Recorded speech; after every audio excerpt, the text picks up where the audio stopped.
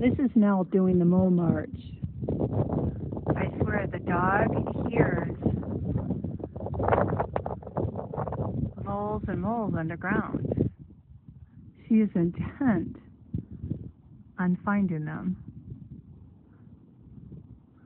I honestly think she would do awesome as a narcotics dog.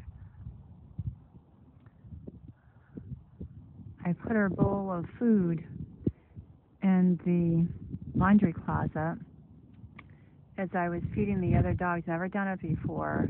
As soon as she came into the laundry room, she knew that food was behind the door, and I had never done that before.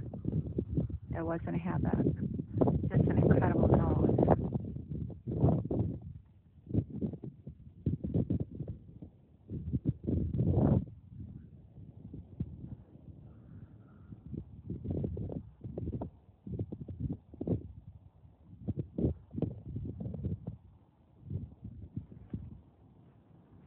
beautiful girl.